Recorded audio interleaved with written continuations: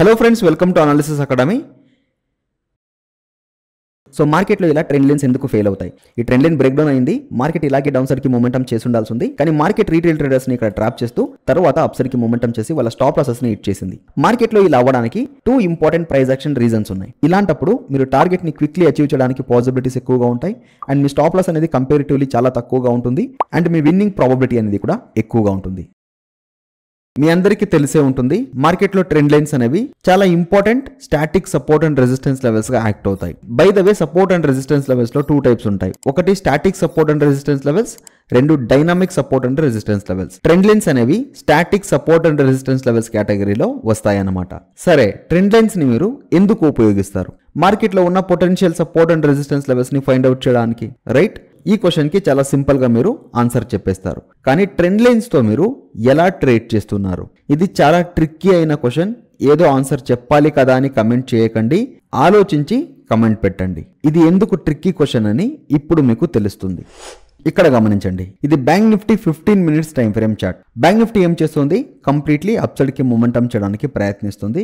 ఇప్పుడు bank Nifty forty three thousand four fifty లెవెల్స్లో close అయింది. సో ఇప్పుడు బ్యాంక్ నిఫ్టీలో మీరు ట్రేడ్ చేయాలి. మీరేం చేస్తారు? బ్యాంక్ నిఫ్టీ అప్సైడ్కి మూమెంటం చేస్తుంది అని ఇలా ఒక ట్రెండ్ లైన్ని డ్రా చేస్తారు. ఇలా ఒక ట్రెండ్ లైన్ని మీరు డ్రా చేసేటప్పుడు ఈ ట్రెండ్ లైన్కి మాక్సిమం నెంబర్ ఆఫ్ టచెస్ ఉంది. మార్కెట్ ఇక్కడ సపోర్ట్ని తీసుకుంది. ఈ ప్రైస్ లెవెల్స్లో సపోర్ట్ని తీసుకుంది. ఇక్కడ సపోర్ట్ని తీసుకుంది. నెక్స్ట్ టైం గ్యాప్ అప్ కూడా మార్కెట్ ఓపెన్ అయింది. సో క్లియర్లీ మనకి తెలుస్తుంది బ్యాంక్ నిఫ్టీ ఈ ట్రెండ్ లైన్ని రెస్పెక్ట్ చేస్తూ ఉంది అని. కానీ ఫైనలీ బ్యాంక్ నిఫ్టీ ఈ ట్రెండ్ లైన్ని ఇక్కడ బ్రేక్ డౌన్ చేసింది.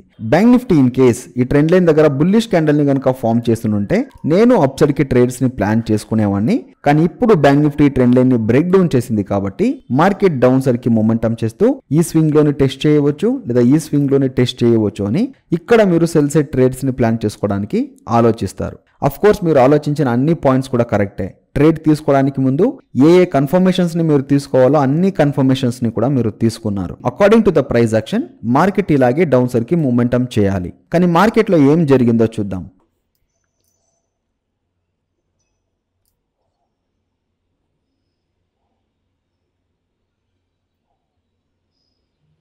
బ్యాంక్ నిఫ్టీ ట్రెండ్ లైన్ని బ్రేక్ డౌన్ చేసింది. ప్రీవియస్ సపోర్ట్ లెవెల్స్ని కూడా బ్రేక్ డౌన్ చేసింది. కొంతవరకు డౌన్ సైడ్కి మూమెంటం చేసి తర్వాత ఇక్కడ నుండి రివర్స్ అవ్వడానికి స్టార్ట్ అయింది. ఇన్ కేస్ ఈ ప్రైస్ లెవెల్స్లో మీరు ఎంటర్ చేస్తుంటే మీ స్టాప్ లాస్ అనేది ఇక్కడ ఉండుండేది లేదా మాక్సిమం డేస్ అయ్యే దగ్గర స్టాప్ లాస్ ఉండుండేది. అండ్ మీ టార్గెట్ అనేది ఈ ప్రైస్ లెవెల్స్లో. అంటే forty three thousand two hundred ఇక్కడ ఒక గ్యాప్ బార్డర్ ఉంది. So forty three thousand one hundred ఈ ప్రైస్ లెవెల్స్లో మీ టార్గెట్ అనేది ఉండేది. కానీ ఇక్కడ మీరు ఎంటర్ చేసిన తర్వాత మీరు తీసుకున్న స్టాప్ లాస్కి ఫిఫ్టీ పర్సెంట్ కూడా మార్కెట్ ఇక్కడ ప్రాఫిట్ని ఇవ్వలేదు. కొంతవరకు డౌన్ సైడ్కి మూమెంటం చేసి ఎగ్జాక్ట్లీ ఇక్కడ నుండే రివర్స్ అయింది. ఇన్ కేస్ బ్యాంక్ నిఫ్టీ ఈ స్వింగ్లో దాకా డౌన్ సైడ్కి మూమెంటం చేసి ఉండింది అంటే మేబీ మీరు one is to one RR రేషియోని తీసుకుని ఎగ్జిట్ అయ్యి ఉండేవారేమో రైట్ కానీ మార్కెట్ ఇక్కడి వరకు డౌన్ సైడ్ మూమెంటం చేయలేదు. ఇక్కడ నుండే రివర్స్ అయింది. That is the psychology of the market in case market ఈ లెవెల్స్ వరకు రిట్రేస్మెంట్ చేసేసింది అంటే మీరు ప్రాఫిట్ బుక్ చేసేస్తారు. తర్వాత మార్కెట్ రివర్స్ అవడానికి స్టాప్ లాసెస్ అవైలబుల్ ఉండదు. మార్కెట్ సపోర్ట్ లెవెల్స్ని టెస్ట్ చేయడానికి ముందే ఇక్కడ నుండి రివర్స్ అయిపోయింది అంటే అప్పుడు మీరు ఎగ్జిట్ అవ్వరు అండ్ మార్కెట్ మీ స్టాప్ లాస్ని హిట్ చేస్తుంది. Similarly on the down side bank Nifty swing లోస్ని form చేసుకుంటూ డౌన్ సైడ్కి మూమెంటం చేస్తూ ఉంది. బ్యాంక్ నిఫ్టీ డౌన్ సైడ్కి మూమెంటం చేసేటప్పుడు ట్రెండ్ లైన్స్ ఒక ఇంపార్టెంట్ రెసిస్టెన్స్ లెవెల్స్గా యాక్ట్ అవుతాయి. సో బ్యాంక్ నిఫ్టీ డౌన్ సైడ్కి మూమెంటం చేసేటప్పుడు మీరు బ్యాంక్ నిఫ్టీలో ఇలా ఒక ట్రెండ్ లైన్ని డ్రా చేశారు. బ్యాంక్ నిఫ్టీ ఇక్కడ రిజెక్ట్ చేసింది ఇక్కడ రిజెక్ట్ చేసింది. థర్డ్ టైం కూడా బ్యాంక్ నిఫ్టీ రిజెక్ట్ చేస్తూ డౌన్ సైడ్కి మూమెంటం చేసింది కాబట్టి fourth time bank Nifty again ఈ ట్రెండ్ లైన్ని టెస్ట్ చేసేటప్పుడు బ్యాంక్ నిఫ్టీ డౌన్ సైడ్కి మూమెంటం చేయవచ్చు అని మీరు ఒక బేరిష్ కన్ఫర్మేషన్ కోసం వెయిట్ చేస్తూ ఉన్నారు. కానీ బ్యాంక్ నిఫ్టీ ఈ ట్రెండ్ లైన్ దగ్గర ఏమో రెసిస్టెన్స్ని ఫేస్ చేసింది. కానీ డౌన్ సైడ్ మూమెంటం ని కంటిన్యూ చేయకుండా అగైన్ రివర్స్ అవుతూ ఈ ట్రెండ్ లైన్ని బ్రేక్అవుట్ చేసింది. ఈ ట్రెండ్ లైన్ని మార్కెట్ బ్రేక్అవుట్ చేసేంత వరకు మీరు మార్కెట్లో బేరిష్ గానే ఉన్నారు. మార్కెట్ డౌన్ కి వెళ్ళవచ్చు అని ఎక్స్పెక్ట్ చేస్తున్నారు. కానీ మార్కెట్ ఈ ట్రెండ్ లైన్ని బ్రేక్అవుట్ చేసిన తర్వాత బేరిష్గా ఉన్న మీ పాయింట్ ఆఫ్ వ్యూ అనేది బుల్లిష్గా చేంజ్ అవుతుంది. ఎందుకంటే మార్కెట్ ఈ ట్రెండ్ లైన్ని బ్రేక్అవుట్ చేసింది. రెండు విధానాలుగా ఈ ట్రెండ్ లైన్స్లో మనం ట్రేడ్ చేయవచ్చు. రైట్ ఒకటి మార్కెట్ రెసిస్టెన్స్ని ఫేస్ చేస్తూ డౌన్ సర్కి మూమెంటం చేసేటప్పుడు ఇక్కడ పుట్ ఆప్షన్ ట్రేడ్స్ని ప్లాన్ చేసుకోవచ్చు. లేదా మార్కెట్ రివర్స్ అవుతూ ఈ ట్రెండ్ని బ్రేక్అవుట్ చేసేటప్పుడు రెసిస్టెన్స్ లెవెల్ బ్రేక్అవుట్ అయ్యింది అని ఇక్కడ కాల్ ఆప్షన్ ట్రేడ్స్ని ప్లాన్ చేసుకోవచ్చు. సో ఈ పాయింట్ ఆఫ్ వ్యూ బేరిష్గా ఉన్న మీ పాయింట్ ఆఫ్ వ్యూ అనేది బ్రేక్అవుట్ని చూసి బుల్లిష్గా చేంజ్ అవుతుంది.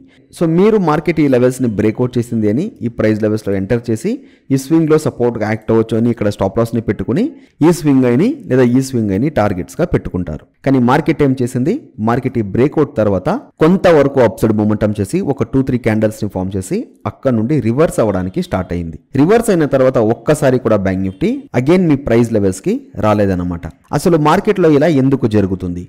ఈ ట్రెండ్ లైన్ సపోర్ట్గా యాక్ట్ అవుతుంది అని క్లియర్గా మనకి తెలుస్తుంది. మార్కెట్ మల్టిపుల్ టైమ్స్ ఈ లెవెల్స్ని టెస్ట్ చేసింది. ఇప్పుడు బ్రేక్ డౌన్ ఇచ్చింది. బ్రేక్ డౌన్ ఇచ్చిన తర్వాత మార్కెట్ డౌన్ సైడ్కి కూడా మూమెంటం చేసింది. కానీ మీరు పెట్టుకున్న టార్గెట్ లెవెల్స్ని హిట్ చేయడానికి ముందే మార్కెట్ రివర్స్ అయిపోయింది. ఫస్ట్ ఆఫ్ ఆల్ మార్కెట్లో ఇలాంటి సినారియోస్ని మీరు డే టు డే బేసిస్లో మీరు ఫేస్ చేస్తూనే ఉంటారు. So friends this is going to be very very important video price యాక్షన్లో key important థింగ్స్ని ఈ వీడియోలో మనం డిస్కస్ చేయబోతున్నాం. ట్రెండ్ లైన్ గురించి ఉన్న ఒక కంప్లీట్ సీక్రెట్ని మీకు నేను రివీల్ చేయబోతున్నాను.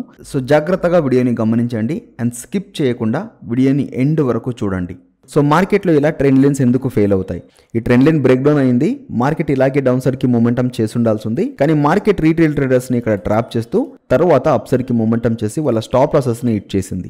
మార్కెట్లో ఇలా అవ్వడానికి two important price action reasons ఉన్నాయి. ఇప్పుడు ఈ టూ ఇంపార్టెంట్ ప్రైజ్ యాక్షన్ రీజన్స్ని మనం డిస్కస్ చేస్తూ నెక్స్ట్ టైం మీరు ట్రెండ్ లైన్స్తో ట్రేడ్ చేసేటప్పుడు ట్రాప్స్ని అవాయిడ్ చేస్తూ అక్యురేట్ ట్రేడ్స్ని ఎలా తీసుకోవాలి అని కూడా నేను ఎక్స్ప్లెయిన్ చేస్తాను. ఈ ట్రెండ్ లైన్ని ఉపయోగించి రివర్సల్స్లో కూడా ట్రేడ్ చేయవచ్చు. ఏ కండిషన్లో రివర్సల్స్ వస్తాయి ఆ రివర్సల్స్లో ట్రేడ్స్ని ఎలా ప్లాన్ చేసుకోవాలి అని కూడా ఎక్స్ప్లెయిన్ చేస్తాను. సో వీడియోని కంటిన్యూస్గా చూడండి. The first reason is trend మార్కెట్లో అట్ ప్రజెంట్ ఉన్న ట్రెండ్ అనేది మార్కెట్ యొక్క నెక్స్ట్ మూమెంటమ్ని డిసైడ్ చేస్తుంది. మార్కెట్ ఇక్కడేమో అప్సర్కి మూమెంటం చేస్తూ ఉంది. అప్సైడ్కి మూమెంటం చేసేటప్పుడు ట్రెండ్ లైన్ సపోర్ట్గా యాక్ట్ అవ్వాలి కదా. కానీ ఇక్కడ మార్కెట్ ట్రెండ్ లైన్ని బ్రేక్ డౌన్ చేసిన తర్వాత ఇక్కడ నుండి రివర్స్ అయింది. ఈ బ్రేక్ డౌన్కి ముందు ఉన్న ట్రెండ్ని మీరు చూసారు అంటే మార్కెట్ హయ్యర్ లోస్ని అండ్ హయ్యర్ హైస్ని ఫామ్ చేస్తూ అప్సైడ్కి మూమెంటం చేస్తూ ఉంది. మార్కెట్ అప్సైడ్కి మూమెంటం చేసేటప్పుడు మీరు ట్రెండ్కి అగేన్స్ట్గా సెల్ సైడ్ ట్రేడ్స్ని ప్లాన్ చేసుకుంటున్నారు అంటే మార్కెట్ డౌన్ సైడ్ మూమెంటం చేయడానికి ఎంత ప్రాబబిలిటీ ఉంటుంది? చాలా తక్కువ ప్రాబబిలిటీ ఉంటుంది కదా? మార్కెట్ హయ్యర్ హైస్ని ఫామ్ చేస్తూ అప్సైడ్కి మూమెంటం చేసేటప్పుడు బై సైడ్ ట్రేడ్స్ని మాత్రమే ప్లాన్ చేసుకోవాలి. మార్కెట్ లోవర్ లోస్ని ఫామ్ చేస్తూ డౌన్ సైడ్కి మూమెంటం చేసేటప్పుడు సెల్ సైడ్ ట్రేడ్స్ని మాత్రమే ప్లాన్ చేసుకోవాలి. డైలీ టైం ఫ్రేమ్లో మనం చూసాము అంటే ఓవరాల్ ట్రెండ్ అనేది బుల్లిష్గానే ఉంది. కానీ అట్ ప్రజెంట్ ఫైవ్ మినిట్స్లో కానీ ఫిఫ్టీన్ మినిట్స్ టైం ఫ్రేమ్లో కానీ ఏ ట్రెండ్ నడుస్తుంది? దాన్ని కూడా అండర్స్టాండ్ చేసుకోవాలి కదా. సో కరెంట్లీ నడుస్తున్న మార్కెట్ ట్రెండ్ని అండర్స్టాండ్ చేసుకుని మార్కెట్తో అడాప్ట్ అవ్వాలి. సో ట్రెండ్ ఎప్పుడు కూడా అప్సైడ్కి ఉన్నప్పుడు డౌన్ సైడ్ ట్రేడ్స్ని మాత్రం ప్లాన్ చేసుకోకండి.